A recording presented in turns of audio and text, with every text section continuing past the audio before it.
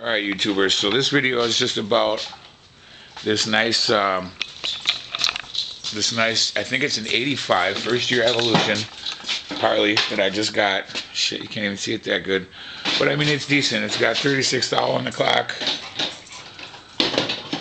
Nice big bagger. It's got real colorful paint scheme. It's got hoods over every piece of glass.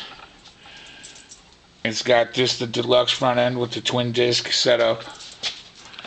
It's just magnificent as far as I'm concerned. The backlight scheme on this thing's insane. But anyway, I'm just making this for my mom.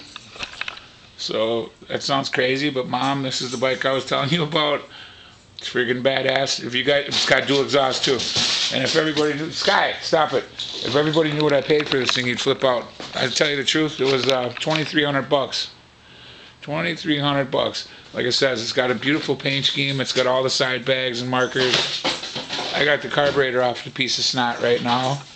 And on my 71, the, um, and like it says, hey YouTube community, if you guys, if you guys would do a raffle, I would give away this 71, man. At 10 bucks a raffle, if I sold enough to make 10 G's and I got 20 into this bike, I would raffle this bike off for you guys. So you guys give me some feedback and let me know if you want to if you want to raffle off this numbers matching 71 police special.